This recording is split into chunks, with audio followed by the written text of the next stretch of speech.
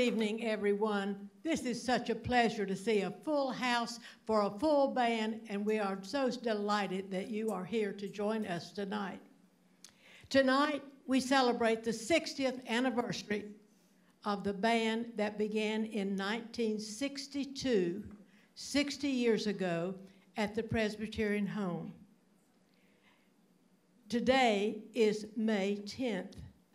That is 60 years ago. We celebrate this wonderful occasion and we will open our program with three beautiful hymns.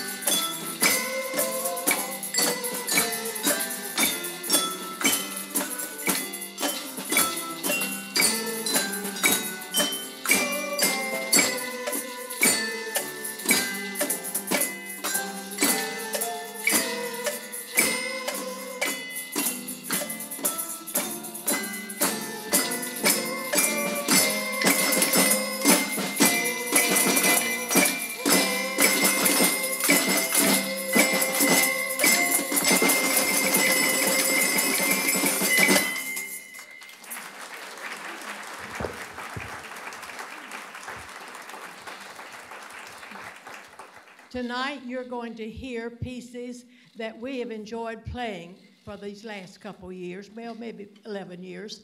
But you're going to hear about the instruments that were played 60 years ago. You will hear these instruments talked about of 60 years ago. We'll start with Carolyn.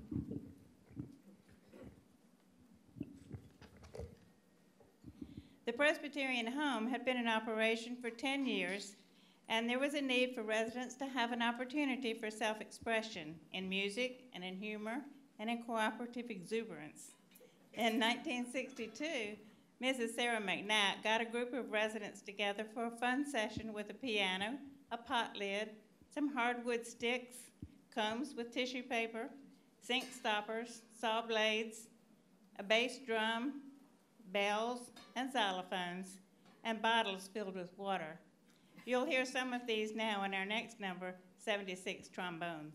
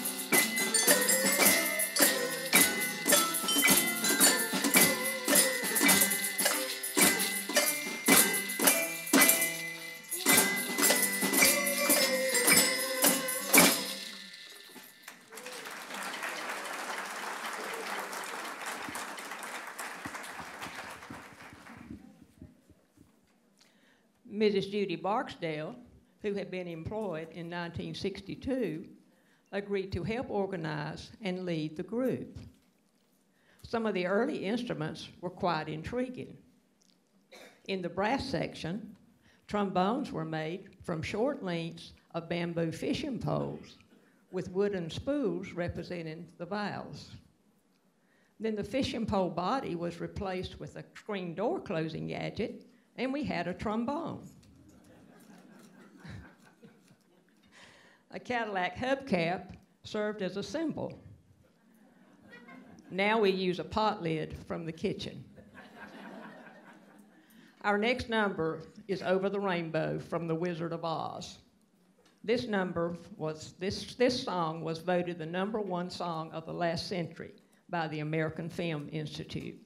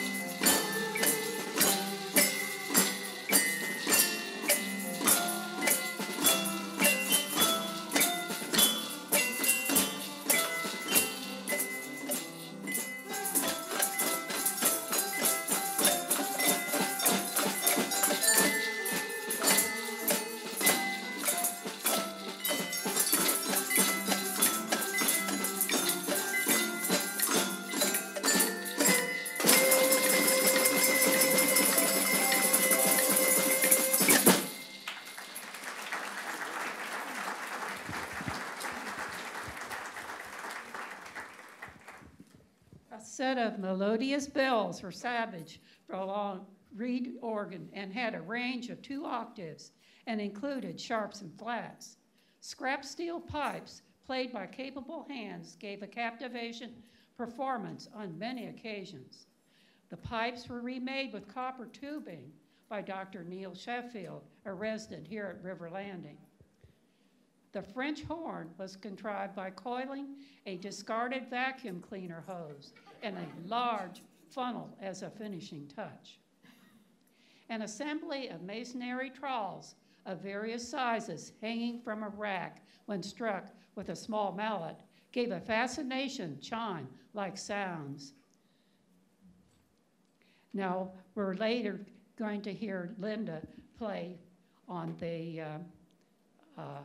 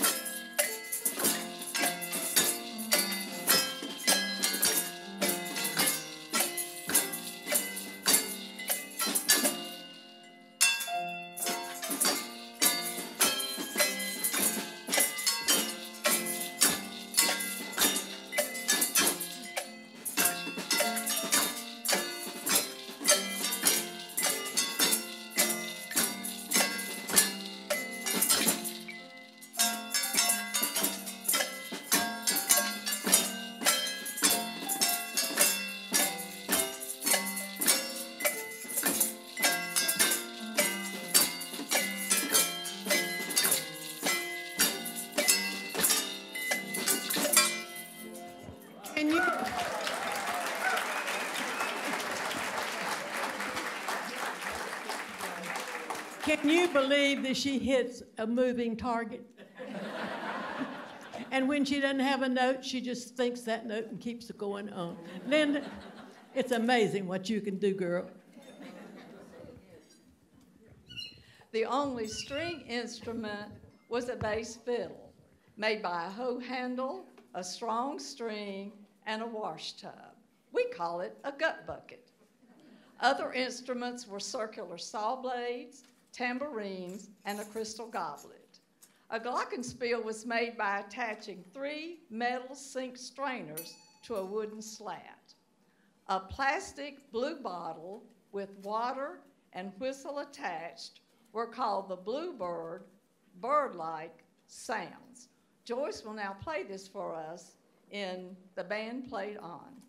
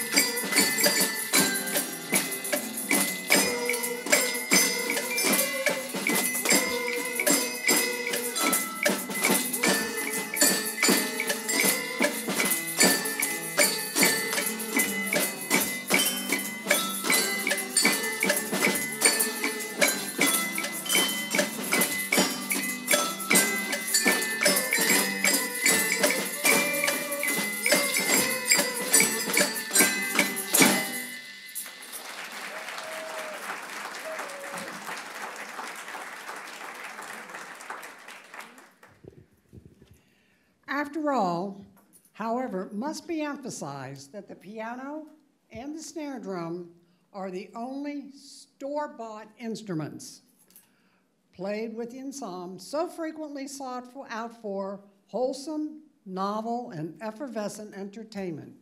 We will now play one of our favorite songs, Alexander's Ragtime Band.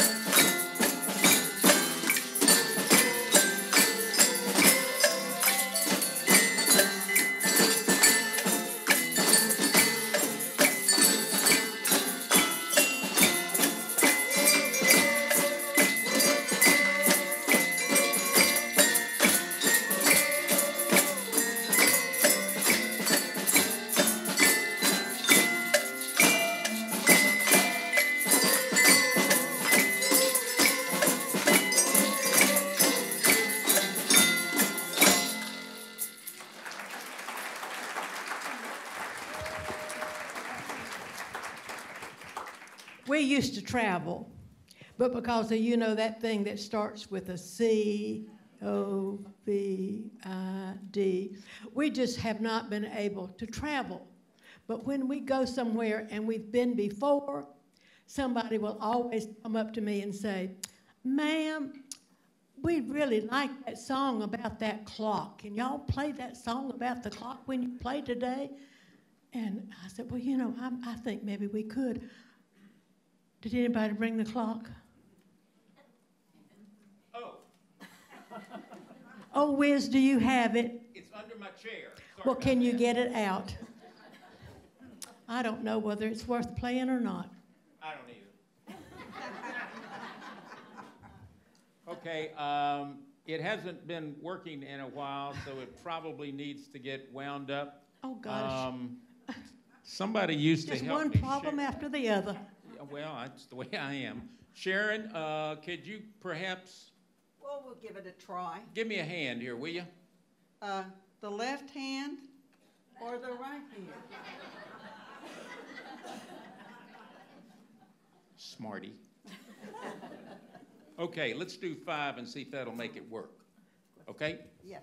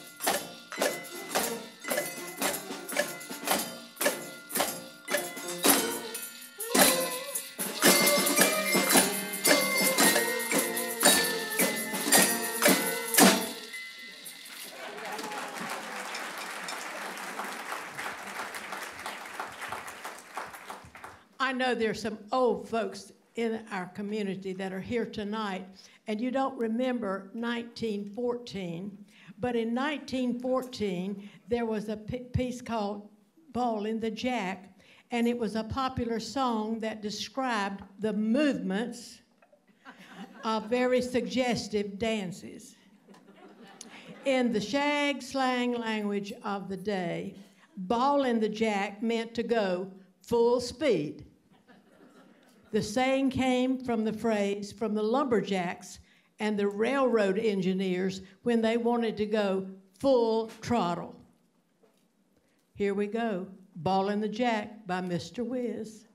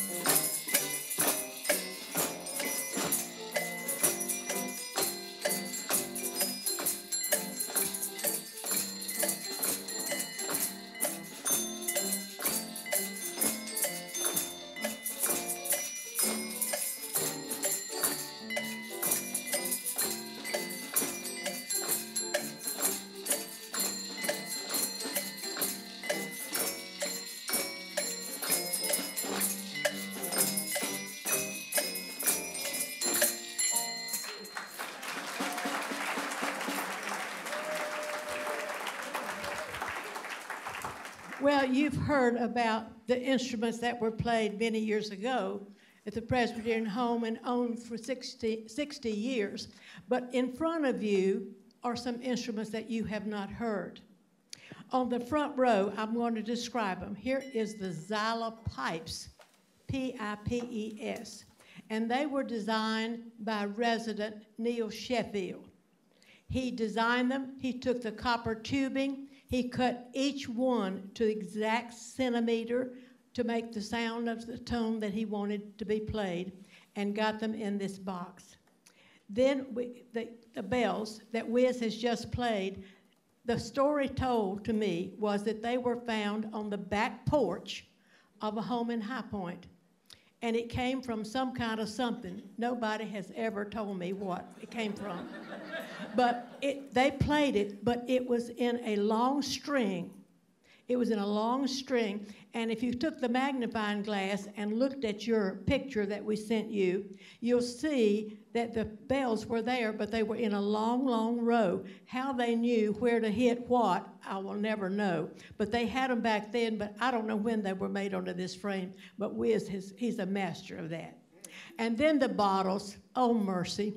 The bottles are wonderful. They're filled with water, and they have to be tuned every year. And she talks to her daughter Cindy every week. She said, Cindy, I just love playing the bottles. And she said, Oh, mom, you play the bottle. She said, I hit the bottle every day. and then behind her wonderful husband is Clyde. Clyde has a gut bucket, and the bottom of it was given to us, and it replaced one that we had had before that wasn't very pretty and it just mm, it didn't have much character. And Clyde said, I would like to play that gut bucket. And so he got some gentlemen and uh, one lady to help him redesign this gut bucket. And he fixed it to where it has a, a pole and a thing on the top that he puts his fingers on, and he's got him a little amplifier, and he just has it so good, and that was is a gut bucket. Okay, on the second row are tambourines. And then we have a clarinet. It looks like a real clarinet. It really, really does. It was made by a man that was in the band, and he made it for his wife. They're both passed on, but we have that wonderful instrument we call a clarinet, although it's just a stick of wood, you know. And then we have an English horn. It doesn't look like an English horn, but that's what we call it. And then we have trumpets. And we have a slide trumpet. And we have a French horn made by a tube of a vacuum cleaner. And while I am talking about that instrument, Ed Shiflett came and he is substituting for Bill Mowat, who is ill right now, and he and Jackie aren't here. And so Kay Heflin has filled in for Jackie, and Ed has filled in for the Mowats and I, we do appreciate that. All right, on the stage is a goblet. That is a real goblet. It did not come from the Dollar Tree. It's one that you get out of your cabinet when you're having company and you want to show off and you get your good stuff out. Well, that's good stuff, okay? And then we have castanets. They were made by Larry, who plays the snare drum. Then we have sink stoppers. Yes, can you believe sink stoppers?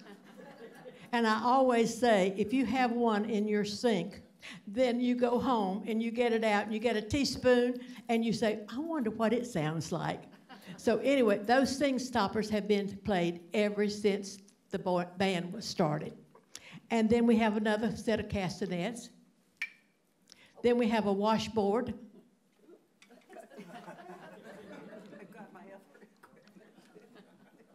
She's going to tell about that other one in a minute, but she's going to show the washboard. Thank goodness we have a washboard. then the pot lid you've already seen and heard uh, in our opening number that we had got from the kitchen. And then we have saw blades. Now, in the picture that you saw of our advertisement, you can see those saw blades right there on the front row. All right, on the back row, we have some special sticks. Bill, hold them up. Can you hold it for just a minute? These sticks were made for a man by the name of Stan Cross. And he had to retire when he was 96. And he did it very gracefully. And he said, Rachel, I want you to keep the sticks in the band. And I said, Oh, Stan, that would be wonderful. He said, But my family's coming at Thanksgiving, and I'd like to show them to them. I said, You got it. I said, I'll bring the sticks and put them on your shelf, and you can show them to your family, and then when you get through, you can come and put them on my shelf. So that's what we did. Well, this last one, we only played, he, I let Bill play these when we have company such as you. He normally just plays regular sticks that were also made for Stan. But if you notice, the one on the right-hand side has, has one, one piece of wood that was cut out to where that has that little funnel part on the top. Play it, Bill. It's so nice. Isn't that a nice little sound? And then, then we have, gosh, hold them up there. Play them. Our, our maracas, but they're really the floaters from the back of our commode. we had to purchase, no, next is a cheese box. This is the first drum that the band had at the Presbyterian home. It got so dilapidated, and Dennis said, Rachel, I, if you'll give me permission, I'll, I'll redo that. And so he just fixed that drum up and did it wonderful. Well, he did such a good job. He said, You know, Rachel, he said, we need a marquee. I said, What's a marquee? He said, Well, it's a sign. He said, oh, You see dance bands and all of they have a marquee that says who they are. And so I said, Well, okay, you know, whatever, Dennis. You. So he said, Well, with your permission, I'm going to do it. I said, Keep, keep the expenses because we do get a little money every now and then when we go away to play, and we can cover the cost of this. So Dennis drew this up, and it's sitting here in front of us, and we are so proud of our River Landing Band. We're so proud of it. Thank you, Dennis. Next is our snare drum. This is, I call him Luscious Larry because no matter what I ask him to do, he says, Yes, ma'am. Yes, ma'am. but we had to buy a snare drum. And then along the way came a big bass drum. It is so heavy. But anyway, and it had to be reconditioned several years ago, but it is just wonderful. Now, we have two instruments that are fairly new to our group. One of them is some frogs. Stand up, frog girls. Can you play us a little tune? Now that's what a, frog's supposed to sound like. And when we use that in another program, we always we always sing Jeremiah was a bullfrog. But it didn't go along with this program tonight. And then the other one is a tongue drum. Try to say that three times fast. A tongue drum. And it was made by the brother of uh, Sharon Burke.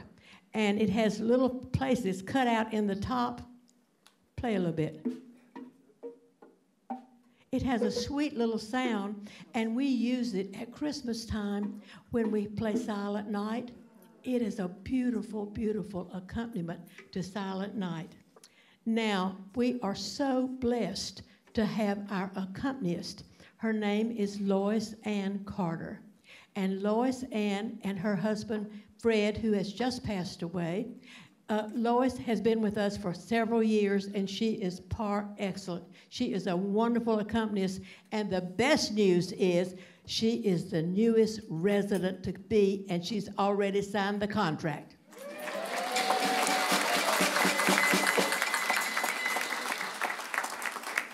Now, you've heard about all the stuff that we play now, but I don't think I've left out anything.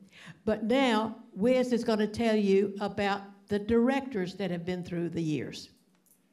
In the early days of the band, we rehearsed twice a week. But now, some 60 years later, we're down to one hour on Monday afternoon. And of course, during the pandemic, we didn't rehearse at all. The directors have really been the dominant force in keeping the band going and successful. The first director in 1962 was Judy Barksdale. Next was Catherine Faber from 1974 to 1975.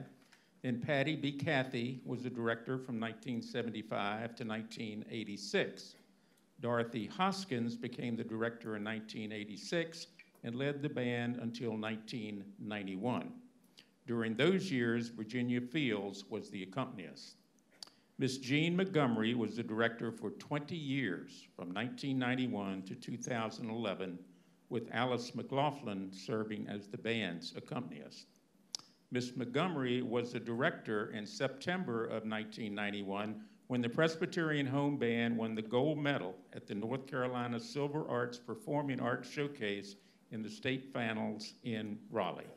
The band played selections from George Bizet's opera Carmen, which was an audience favorite.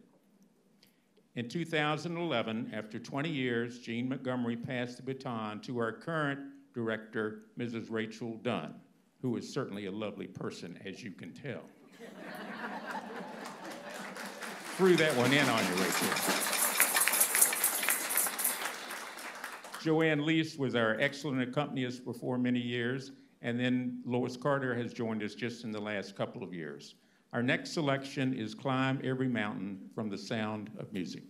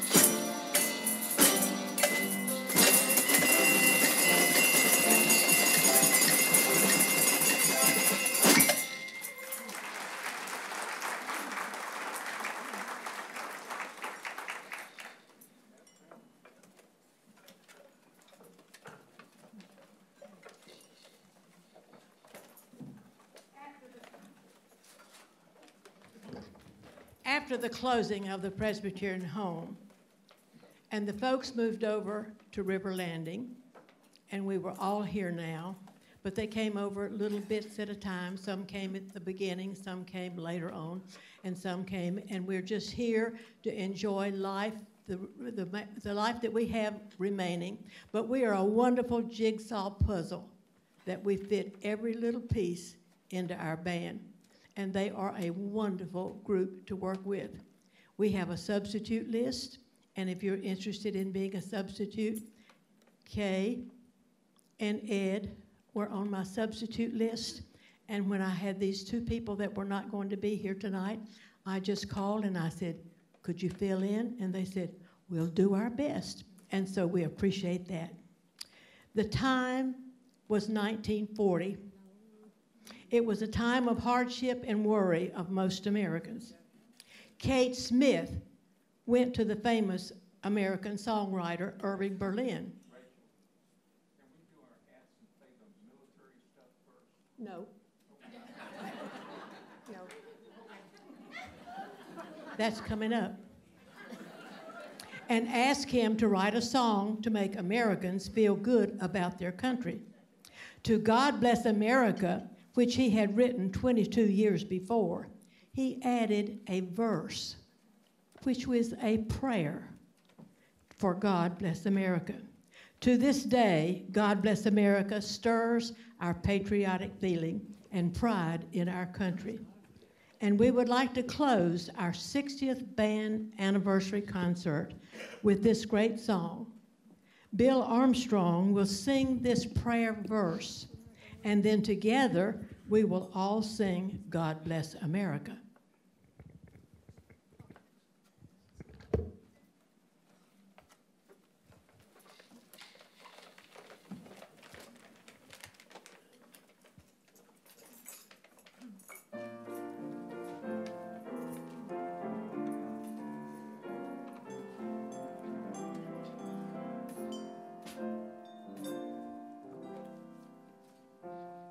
The storm clouds gather far across the sea.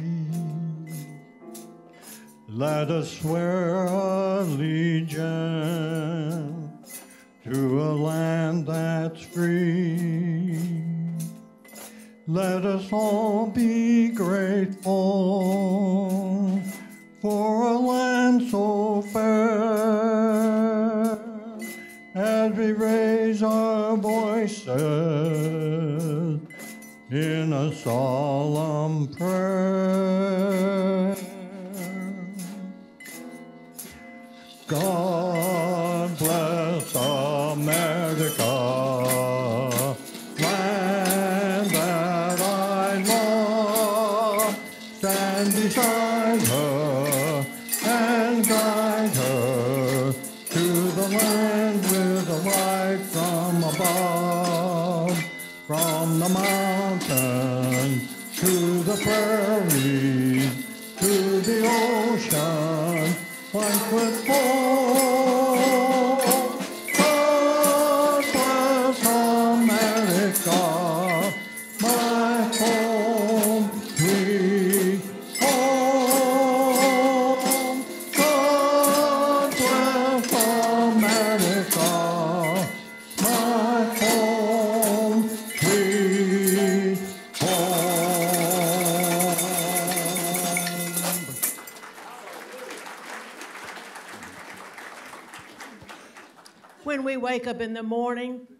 we feel so good that we can look at the air and feel the air and feel the spirit that is around us. We have men and women that have served our country. They have gone all over the world, they're still there. But we want to salute the men and women that have served our country. We're going to play the song that goes with each branch of service. And the veterans that are here, if you were in one of those branches of service, I want you to stand up. If you were, did not in, be in the service, but you had a friend, a neighbor, a real close friend, and they were in, say, the Marines, I want you to stand up and be proud for that person because they were in the Army and you appreciate it. So we're going to start off with the Marines.